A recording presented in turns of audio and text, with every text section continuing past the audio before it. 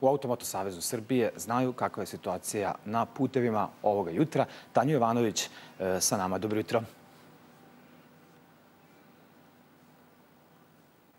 Dobro jutro iz operativnog centra Automoto Saveza Srbije.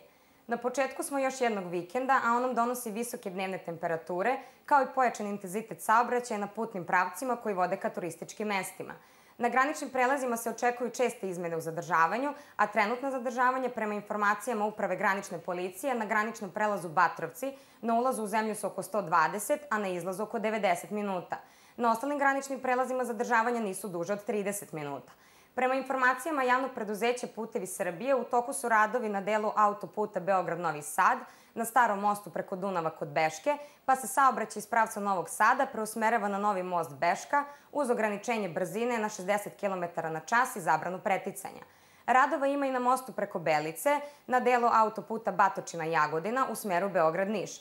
Radovi se izvode na desnoj traci autoputa, dok se na levoj strani saobraćaj odvija dvosmerno a do ponedeljka 11.8.2014. godine nije predviđena obustava saobraćaja na koridoru 10 Niš-Pirot na deonici Čiflik-Staničenje. A kako nam javljaju iz operativnog centra MUPA Republike Srbije, na putevima je evidentirano 97 saobraćenih nezgoda, 62 lica je teže i lakše povređeno, a nažalost tri osobe su izgubile život.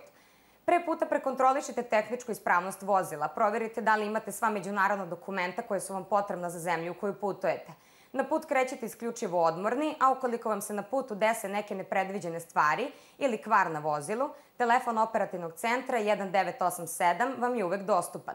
Toliko iz operativnog centra Automoto Saveza Srbije, a svim vozačima želimo srećan put. Hvala puno, pozdrav svima Automoto Savezu Srbije i dodajemo ovde